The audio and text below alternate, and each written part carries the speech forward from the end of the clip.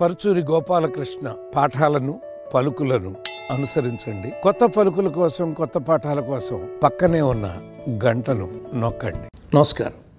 నా విద్యార్థులకు శిష్యులకు మిత్రులకు బంధువులకి అందరికీ కూడా పరుచూరి పలకలకు స్వాగతం అండి.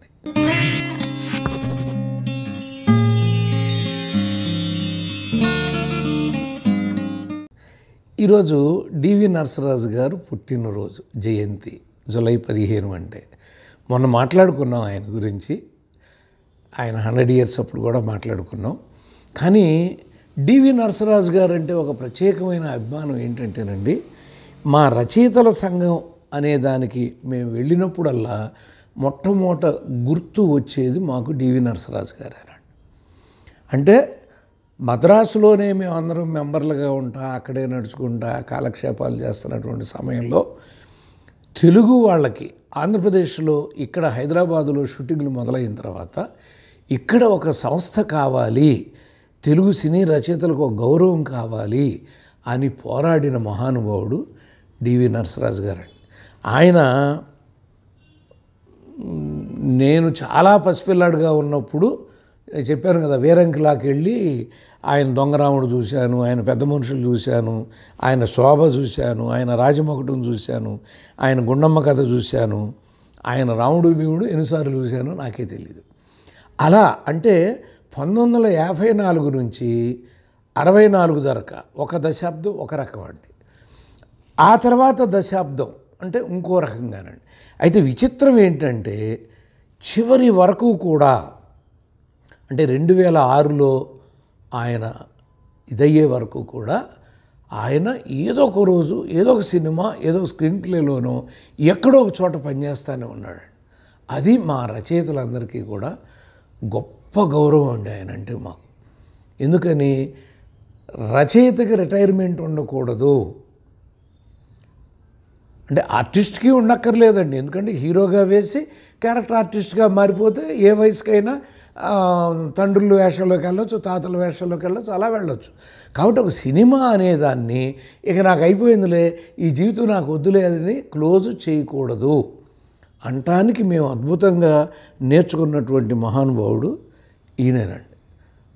మన డివి నరసరాజు గారు దాట్ల వెంకట నరసరాజు గారు ఆయన.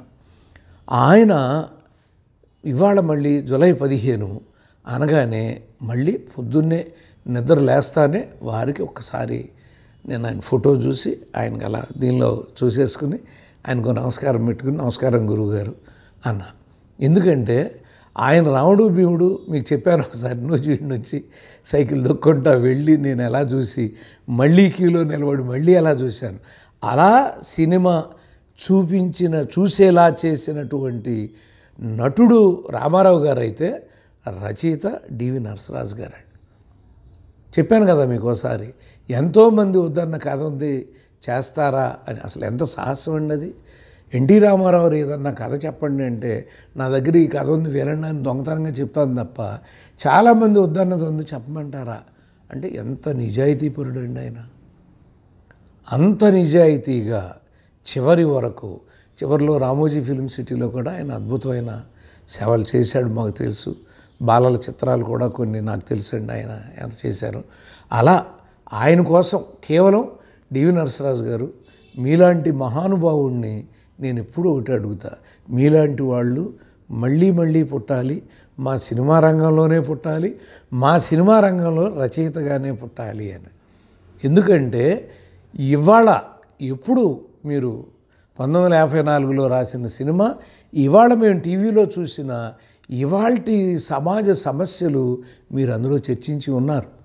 ఎప్పుడైనా ప్రత్యేకంగా మీ సినిమాలు రెండు మూడు కలిపి ఒక సినిమాగా నాకు చెప్పాలని ఇవాళ అనిపించింది. మీ మూడు నాలుగు సినిమాలు తీసుకుని అందులో ఎలాంటి సామాజిక అంశాలు మీరు తీసుకున్నారు? ఎలా వాటికి పరిష్కారాలు చూపించారు? అనేటువంటిది. రావణ భీముడు ఎంతమంది ఫాలో అయ్యారండి? తెలుగులోనే డబుల్ రోల్లో ఎంతమంది తీశారు? ఆడవాళ్ళతో కూడా తీశారండి. గంగా మంగ అంట. ఇట్లా చాలా తీశారు. అది అద్భుతం అండి. అని అంటే ఈజ్ ఎ క్రియేటర్.